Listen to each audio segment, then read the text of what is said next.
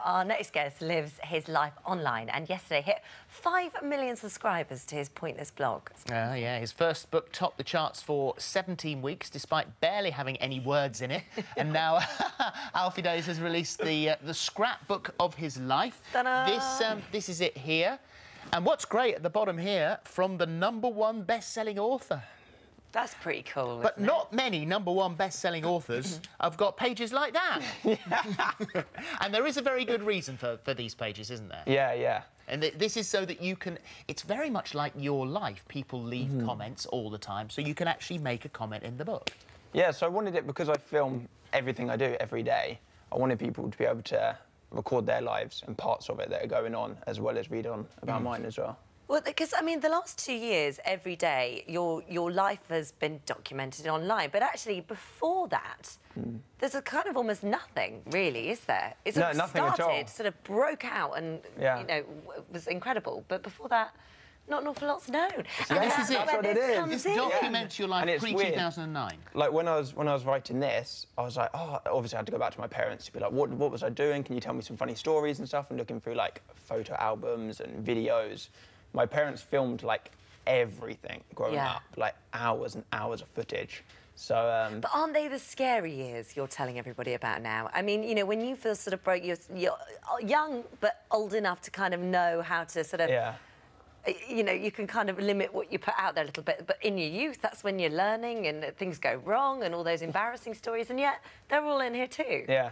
Yeah, yeah, and there's like there's some of the pictures in there, like the picture of me when I was when I'm a baby. It's like the worst picture. My mum was like, that. "Don't put it in there, please." Ah, so this one. No, look at this one. Which one? Oh, you. hang on. Baby pandas, baby Alfies, still babies. Where is it? Oh no, it's too oh, early. Oh no. We've lost there. Oh, oh no, that's cute. Ready? Look, little chubby chops.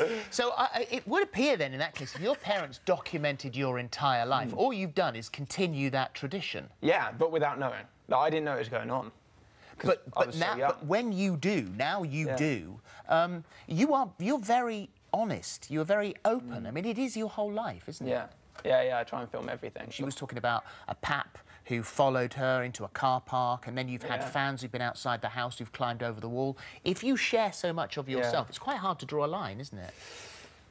It's really hard, and because I film everything, I just love showing everything at all. So I probably encourage quite a lot of it. But um, yeah, I think I think the audience have like an understanding of what's going too far and waiting outside the house isn't okay and things like that. Mm. Um, and also, what you put out there is in your control, I guess, isn't it? Yeah. You decide how much you want to to put out there for people. Whereas if it, that's taken away from you, you must feel kind of out of control sometimes.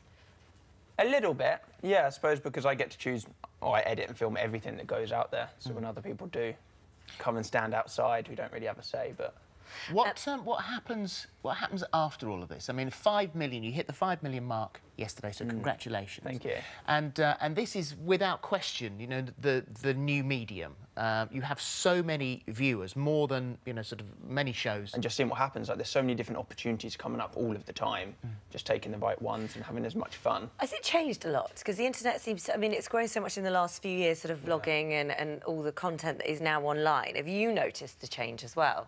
Yeah, it went from like such like a calm, small little like community of like, oh, I make videos. It's a bit weird to do, and now it's like making videos is so popular and so big. And lucrative. It's scary. Yeah, yeah. And I mean, it's quite a young person's game, though, isn't it? I mean, do you sort of feel that, you know, in sort of terms of the internet and vlogging, that you're sort of getting a bit older now? I mean, are there sort of the new young things coming in and taking over? Uh, I think there, there always will be, but there's more people watching YouTube than ever. Yeah. So everyone always says, I really want to start, but is it too late? And I'm like, there's more people wanting to be YouTubers, mm. but there's more people watching YouTube than ever. So, so what is it that makes someone bubble to the top? Yeah. There are so many people posting stuff mm. online um, that, that, only a few of them will rise to be the sort of star that, that you are, that Zoella. Uh, is that how how how do you bubble to the top? What do you do? Uh, if I knew the answer, then yeah, I don't, I don't know. I think maybe just having something unique, like something particular, why somebody should watch you over somebody else. Mm.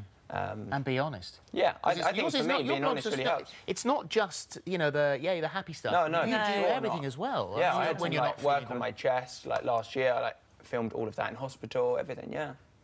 Oh, well done, you. I mean, it's incredible, isn't it? Sort of starting out where you. I mean, you, I imagine if you'd have looked at where you are now in those early days, you just wouldn't have believed it. Yeah. I, th- I think that's why it's so cool and so fun, is because you just don't know what's coming next. Yeah. Is it going to kill telly in the end, do you think? No, I don't think so. I really don't think so. It's such a different format. It's just completely different, yeah. Don't kill telly. I like telly. yeah, otherwise you'll have us to answer to. Um, we uh, we've got the, the Thank you, update on you. the challenge uh, Oh, what's here. happening? uh, What's 'cause of course we did say to you, uh, we, put, at that. we put the pictures, uh, picture on the screen, and you had to take your uh, take your selfie uh, in, in between the two of us.